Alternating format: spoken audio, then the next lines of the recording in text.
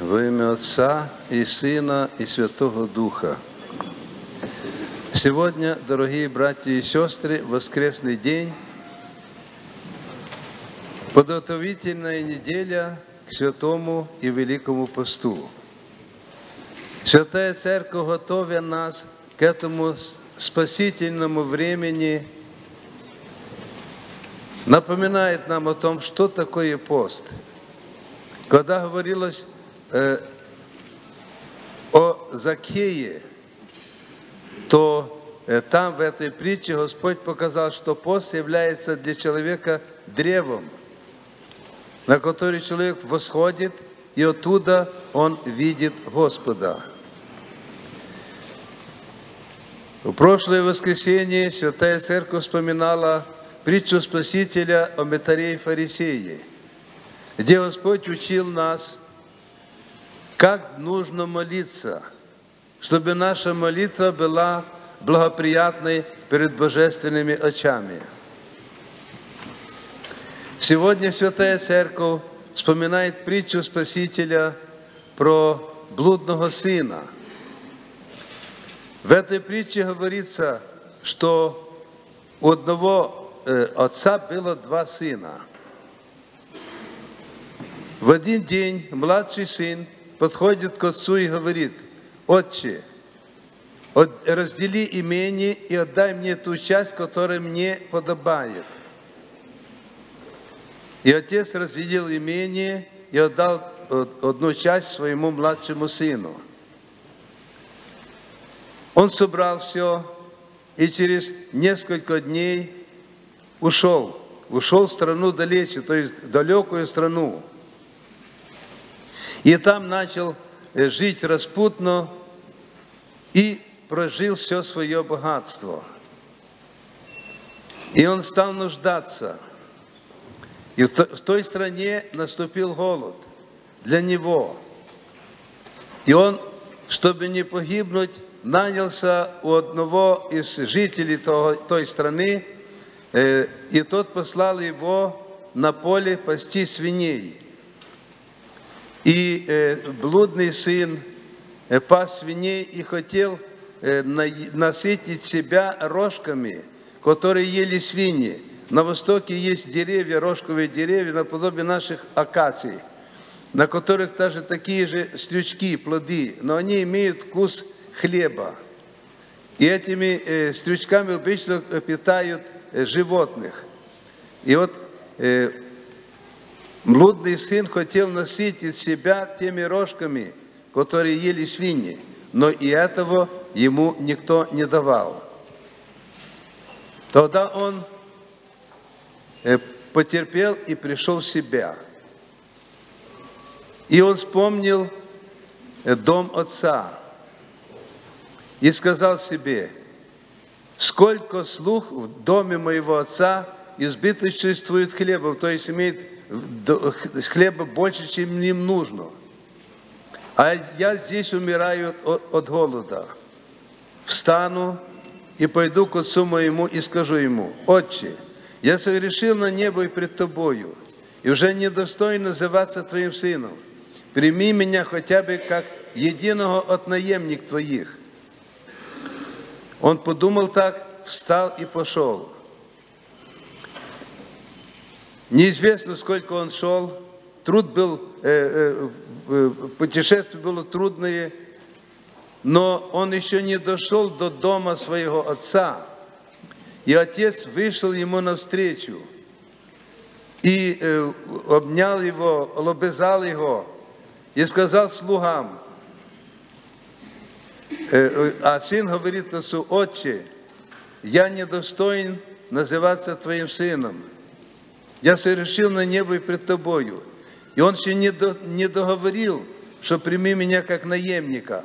А отец уже сказал слугам, принесите лучшую одежду и оденьте его. Принесите персень и оденьте на руку его. Принесите обувь и э, на ноги его. Возьмите тельца упитанного заколите и будем есть и веселиться, потому что этот мой сын был мертв и ожил, пропадал и нашелся. И начался пир в доме отца по случаю возвращения блудного сына. Старший сын в это время работал на поле.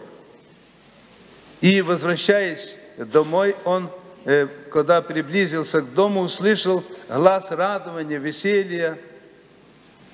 И он призвал одного из слуг и спросил, что это такое? А слуга говорит, говорит отец твой э, принял твоего брата, он вернулся. И э, в радости того, что он принял его здоровым, целым, он устроил такой пир в доме своем. Старший сын услышал об этом и не хотел войти в дом. Отец выходит к нему и говорит, «Э, зайди в дом. Но сын начал укорять отца. Вот я столько лет служу тебе и не приступал ни единой твоих заповедей. И ты мне никогда не дал даже козленка, чтобы я повеселился с моими друзьями.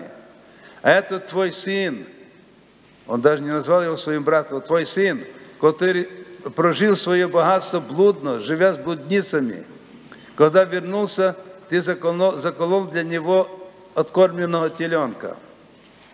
А отец говорит старшему сыну, сын мой, все мое твое, а о том надо было радоваться, что твой младший брат был мертв и ожил, пропадал и нашелся. Э, этими словами завершается притча Спасителя про блудного сына. Этой притчей Господь показывает нам, э, какую пользу еще приносит человеку пост. Пост заставляет человека посмотреть на себя, обратить на себя внимание. Когда мы живем в довольстве, пресыщении, обедаемся, опиваемся, то мы обычно на себя не смотрим. Мы довольны всем, нам все хорошо, хотя душа страдает, человек испытывает какие-то внутренние мучения, но мы не считаемся с этим и на себя не смотрим. Когда человек начинает себя ограничивать, то у него появляется э, потребность посмотреть на себя, разобраться в себе и найти выход из того положения, в котором человек находится.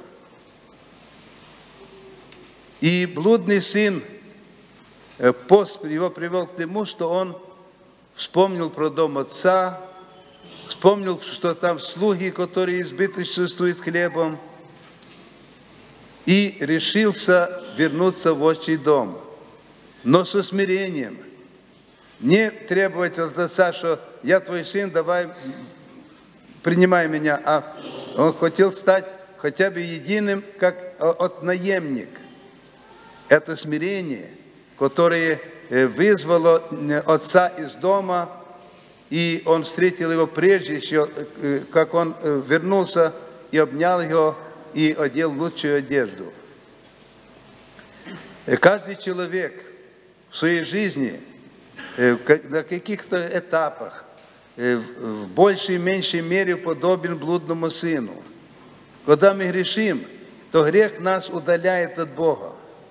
И грех опустошает человеческую душу. И э, если мы начинаем поститься, то пост э, заставляет нас посмотреть на себя. Мы лучше себя ощущаем свое состояние и имеем желание посмотреть на себя, что у нас творится, в чем причина наших бедствий. И человек э, определяет, что причина нашего э, крушения – это то, что мы ушли от Бога, чтобы нагрешили. Грех – это болезнь, которая никогда не приносит человеку блаженства, состояние блаженства. Она всегда человека унижает и, и мучает. И человек хочет, э, и он создан не для того, чтобы жить в муках, а для того, чтобы жить в радости. И человек ищет этой радости. И когда он постится, то грешник начинает понимать, что причина его удаления от Бога, и вернее причина его э, бедствий – это удаление от Бога. Э, это мы почти все понимаем, когда мы начинаем себя анализировать, мы все понимаем, что надо э, молиться больше, надо делать добрые дела, то есть возвращаться к Богу.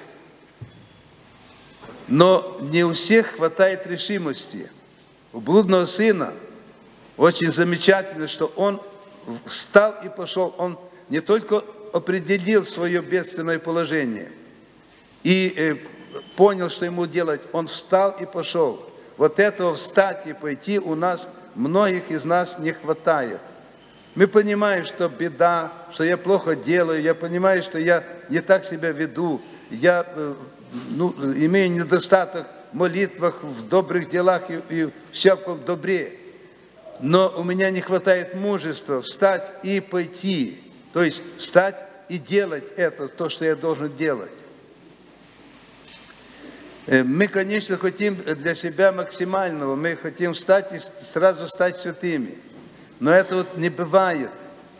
Блудный сын встал, пошел, и он неизвестно сколько шел, но он шел значительное время, пока достигнул отчего дома. Но уже когда человек встает и делает первый шаг Богу, Бог уже делает шаг навстречу человеку. То есть Господь подает человеку свою такую дивную благодать, которая в всех скорбях, всех трудностях, там переживаниях, она уже утешает человека внутри. Грех, когда мы решим, то нам, э, мы вроде кажется, что нам весело, а внутри нас все больше и больше точит какая-то ну, тоска там, уныние. А когда мы начинаем делать добро, когда каемся, возвращаемся к Богу, то мы еще не вернулись, мы только сделали один шаг, а уже Бог дает человеку благодать, утешение, укрепляет нас, помогает и утешает. И у человека появляется какая-то внутренняя сладость. Когда человек грешит, то он пьет и яд, который сладкий, а потом поражает человека. Когда человек кается, он принимает лекарства, которые на устах горькое, а приносит человеку сладость исцеления – Пусть Господь помогает нам, дорогие братья и сестры, чтобы э, в течение поста каждый из нас определил, кто не ушел с отчего дома, это прекрасно, и берегите себя там. Кто из нас ушли, э, удалились своими грехами дальше, ближе от отчего дома, давайте, э, ну, во время поста, поста особенно, опомниться, встать и маленькими шажками пойти в отчий дом, то есть возвращаться к Богу, возвращаться к той жизни, для, ради которой Господь создал человека, для блаженной вечной жизни, которая э, начинается у человека здесь на земле, а э, после смерти она продолжается на небе, о Христе Иисусе Господе нашим, которому от нас слава, честь и поклонение, ныне бесконечные веки. Аминь. Щоб завжди бути в курсі подій церковного життя, підписуйтесь на канал Української православної церкви в YouTube та натискайте на дзвіночок, щоб першими дізнаватись про вихід нових відео.